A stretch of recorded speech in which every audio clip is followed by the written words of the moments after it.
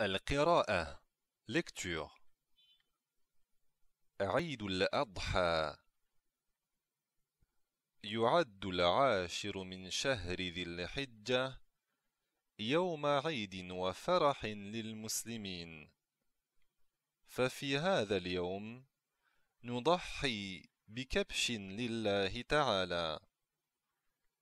في الصباح يتزين المسلمون كما في عيد الفطر ويكبرون الله وهم ذاهبون لأداء الصلاة وبعد ذلك تجتمع العائلة يذبح كل كبشة ويستمتع الجميع بالوليمة.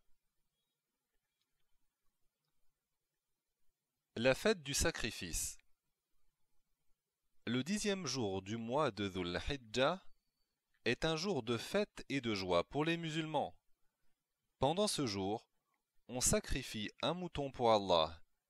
Le matin, tout comme la fête de la rupture du jeûne, les musulmans s'embellissent et proclament la grandeur d'Allah en se rendant à la prière. Après cela, la famille se réunit. Chacun égorge son mouton et tout le monde se régale de la bête.